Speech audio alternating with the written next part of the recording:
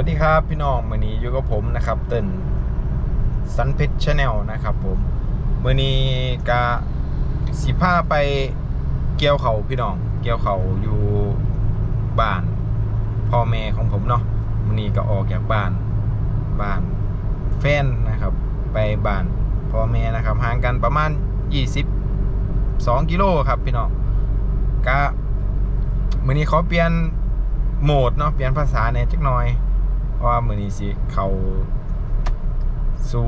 สไตล์อีสานบ้านเฮานะครับผมสีสเกตกันเองนะครับบ่ต้องเก่งใจกันนะครับผม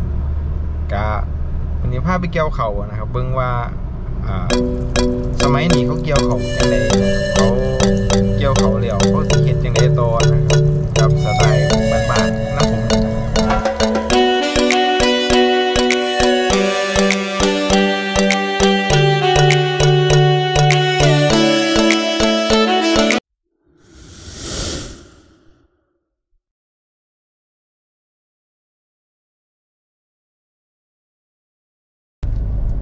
ครับพี่น้องบรรยากาศสองข้างทางทางเขาหมู่บ้านเนาะก็สิเห็นการตาเขาตามตลอดแนวถนนนะเทคโนโลยีมันก็พัฒนาขึ้นนะครับก็อำนวยความสะดวกลดเวลาในการเกี่ยวเขาให้กับพี่น้องชาวนาก็จำเป็นต้องใส่รถเกี่ยวนะครับ จากกลการเกษตร บันที่นี่พอเกี่ยวขึ้นมาปุ๊บมันกะ บ่ท่านแห้งเนาะพี่น้องความชื้นมันหลายถ้าเก็บไว้ในเหล่าเขา มันก็สิเฮ็ดให้เสียหายนะครับก็จำเป็นต้องมาตากบนท้องถนนนี่แหละครับ ผม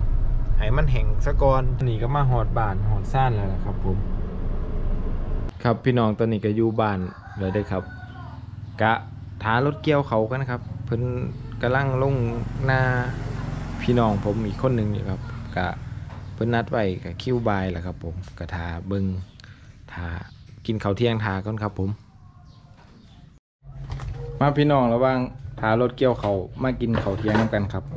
นี่ก็ได้จังไงกันได้ได้ก้อยครับได้ต้มครับผมแกมพักกับปั่นข้าวเหนียวเขาเลยนะครับ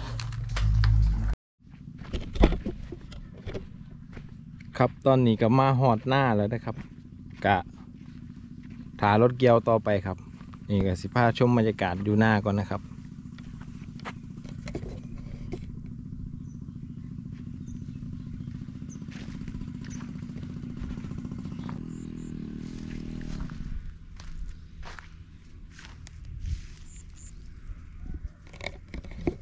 เขานี่ก็ล่มแซ่น้ำนะครับ แจ๊บว่าเป็นปูสาดไปเอารถครับผม บึงครับ ป๊าดแจบดีขนาดเลยพี่น้อง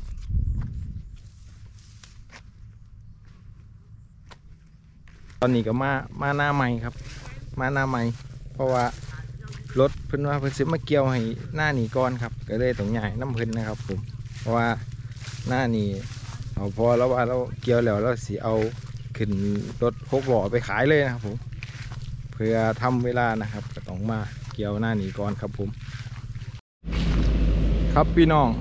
ตอนนี้ก็ได้เคลื่อนใหญ่กันมาอีกหน้าใหม่ละครับ หน้าที่สามล้วครับโอ้ยไอรถเกี่ยวเพิ่นมาเกี่ยวให้พิดหมองนะครับ แต่กับบ่เป็นยังครับได้เกี่ยวสุดหน้าเพิ่นวะอ้าวครับ ไปเบิ่งบรรยากาศครับผม